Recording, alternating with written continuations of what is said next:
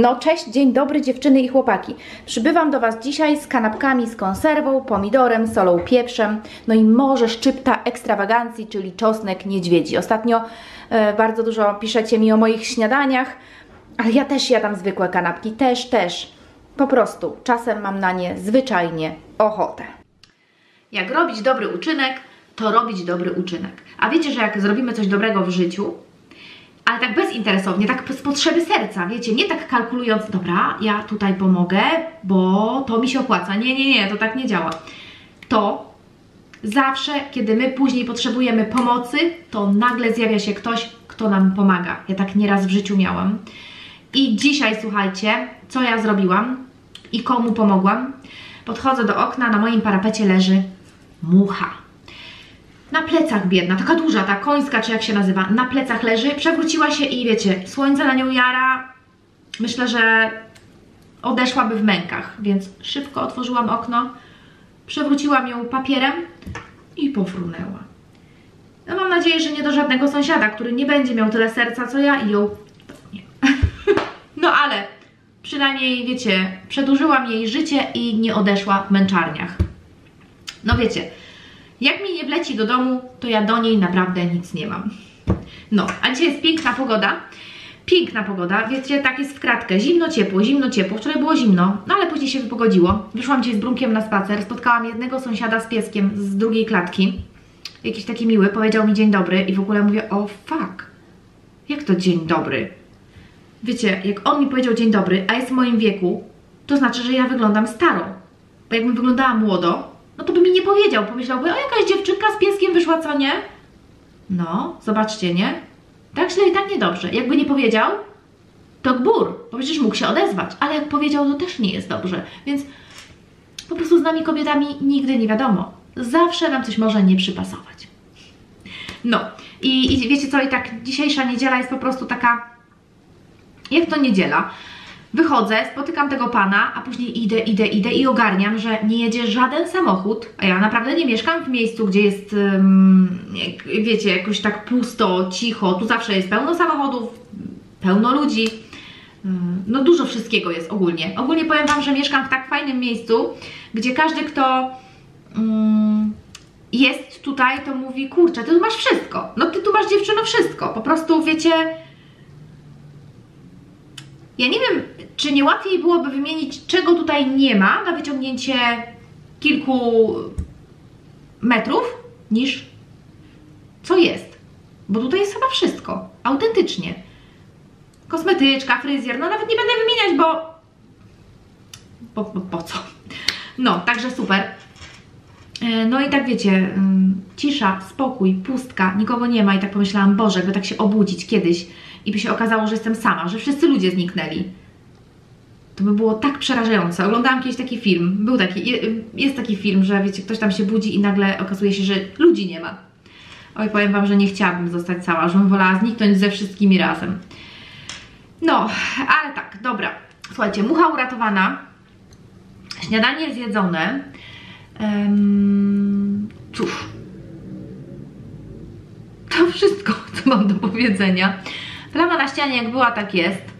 Arti przyjedzie, to będziemy mm, już teraz malować. Zobaczymy, może ona dłużej teraz przyjedzie, może weźmie sobie jakiś urlop. Oj, bardzo bym chciała. Powiem Wam, że bardzo, bardzo nie lubię, jak on odjeżdża. Jakoś tak w Mikulicach, jak zaczął jeździć, to to okej, okay. ale on tam na tygodniówki jeździł, to tak wiecie, ten tydzień minął, zaraz był jakoś tak, a teraz, no nie wiem, ale jakoś mi się tak porobiło, że ten pierwszy dzień, kiedy on wyjeżdża, to ja taka jestem, muszę dojść do siebie, muszę ten, ten, wiecie, ten jeden dzień taki na zmarnowanie, w ogóle jak już wiem, że jedzie, to jakaś taka jestem, że tak na stare lata z moim starym będę miała, to w życiu bym się nie spodziewała, naprawdę. Powiem Wam, że yy, nie ma nic lepszego dla związku, jak jakaś taka właśnie rozłąka.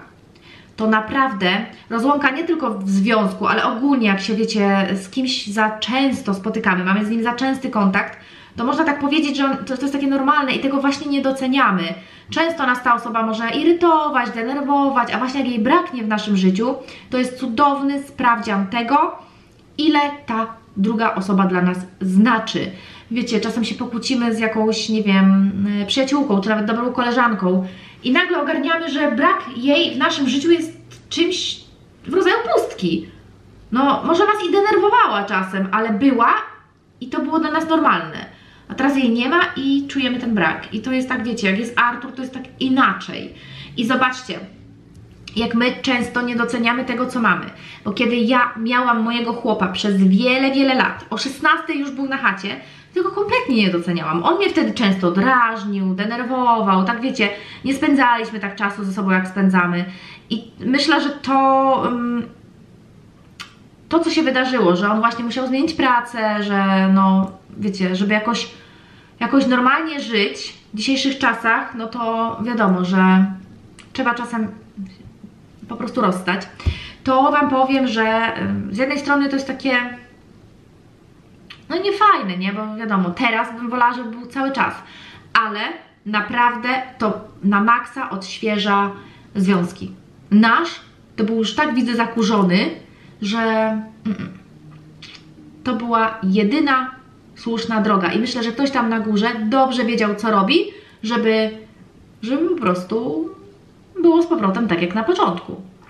No bo to wiecie, chłop jest i chłopa nie ma. Dobra, ja czekam na gości, więc połączę się z Wami, myślę, że już tak pod wieczór. Może 6 minut, miałam się tylko przywitać.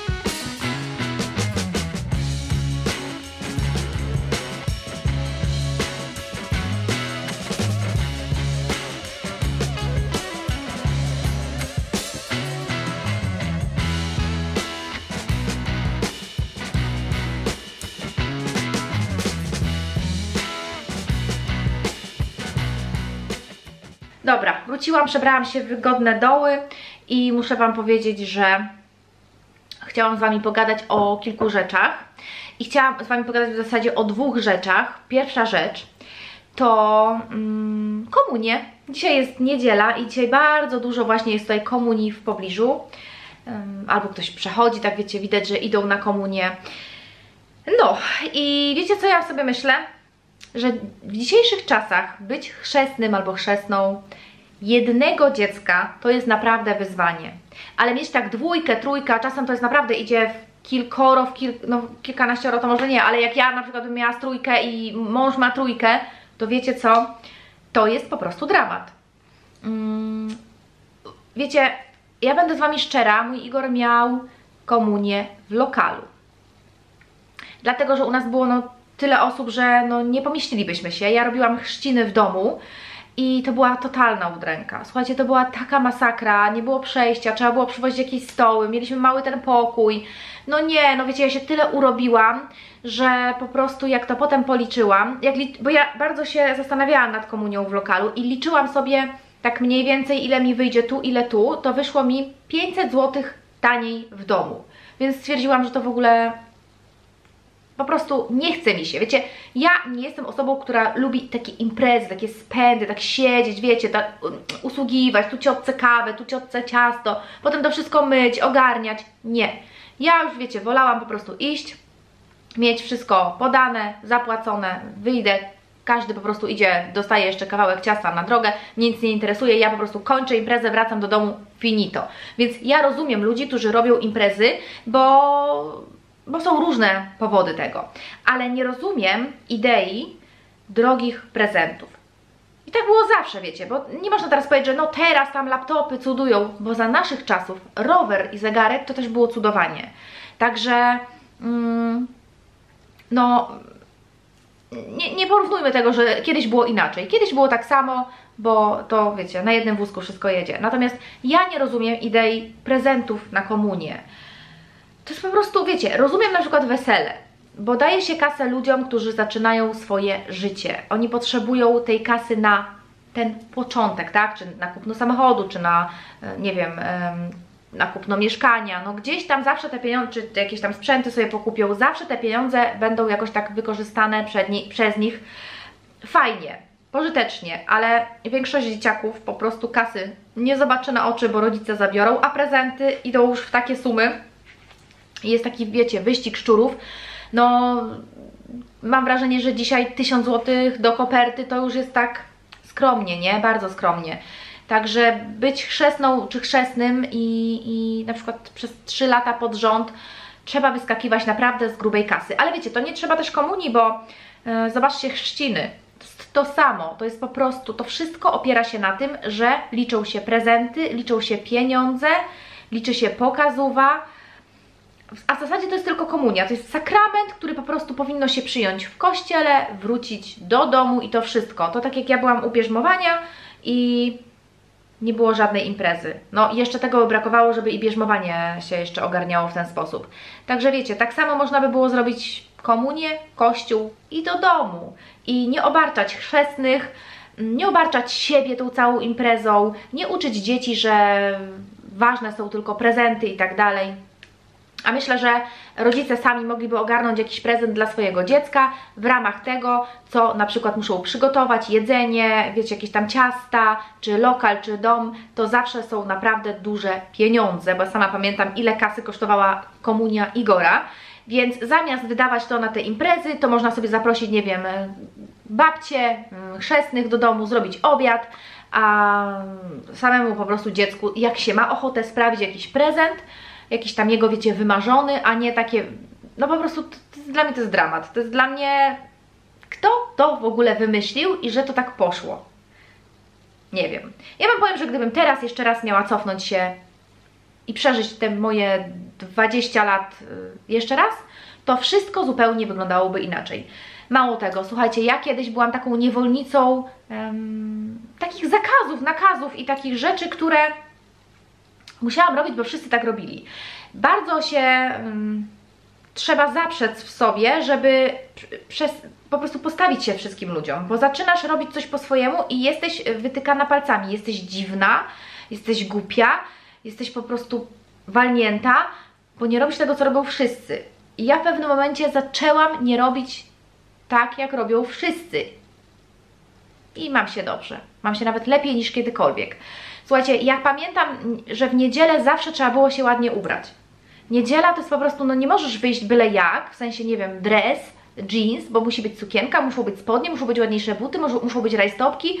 Boże drogi, ja się zawsze po prostu źle czułam w niedzielę. Ja zawsze miałam problem w niedzielę, bo otwierałam szafę i był, ja się nie mam w co ubrać. Ja teraz nie mam tego problemu, bo ja się po prostu ubieram tak jak chcę, tak jak mi wygodnie. Zaciągam dresy na dupę i po prostu mogę iść wszędzie. No, z małymi wyjątkami. Wiadomo, że na wesele nie pójdę w dresach, ale wiecie, czasem człowiek ma ochotę się ładnie ubrać, a czasem to jest bardzo rzadko, jeżeli chodzi o mnie. Więc są takie imprezy, na które po prostu trzeba się jakoś tam, wiecie, ogarnąć, ale nie ma w moim życiu czegoś takiego, że ja coś muszę. Bo coś wypada, bo wszyscy tak robią, bo będę dziwnie wyglądała, bo będą się na mnie patrzyli. No i co z tego? Po prostu, słuchajcie, gdyby każdy przestał żyć pod dyktando innych ludzi, co o nas pomyślą, powiedzą, to ten problem by zniknął. Także powiem Wam, że mm, co roku mam właśnie pogadać o tej komunii, zawsze mi maj tak szybko ucieknie i potem już w czerwcu jest jakby temat nieaktualny, ale naprawdę mm, kasa, jaka idzie na prezenty teraz dla dzieci komunijnych, to jest po prostu jakiś dramat. I, i wiecie, i no to my ustalamy ile dajemy. To my ustalamy, czy dajemy komuś, nie wiem, łapówę, bo coś tam chcemy załatwić, czy nie. Więc mm, ja rozumiem, że to są jakieś tam drobiazgi, ale tysiąc, dwa, trzy, bo laptop, bo coś tam. Dzieciaki są już tak nauczone, że wiecie, one zapytane co chcą, one mają już gotową odpowiedź, jaki chcą prezent i to naprawdę jest drogi prezent. Także bycie chrzestnym, teraz jak ktoś z Was będzie miał zostać chrzestnym, to niech się dobrze zastanowi. No, dobra, dziewczyny i chłopaki, to ja um, uciekam. Idziemy z Brunkiem na spacer, bo Brunek leży tu obok mnie na kanapie i taki jest dzisiaj bardzo, bardzo grzeczny. A, i jeszcze mam fajny cytat w, w dzienniku, w kalendarzu, więc um, zaraz Wam go przeczytam, bo naprawdę jest dzisiaj bardzo trafiony. Wszyscy gotowi? Można zaczynać? No to otwieram kalendarz już. Pamiętacie to? Pamiętacie. Czy wiesz, skąd bierze się światło? Z iskry, która w Tobie jest. Działaj, wytwarzaj energię, ona oświetli Ci drogę naprzód. Piękne.